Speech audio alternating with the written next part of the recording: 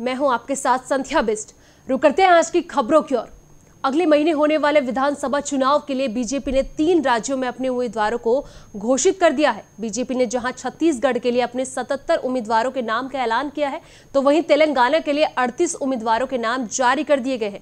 मिजोरम के लिए बीजेपी ने अपने तेरह उम्मीदवारों के नामों की घोषणा की है। छत्तीसगढ़ में दो चरणों में होने वाले चुनाव के लिए बीजेपी ने अपने उम्मीदवारों की पहली लिस्ट जारी कर दी है। इस लिस्ट में पूर्व आईएएस ओपी चौधरी को भी टिकट दिया गया है।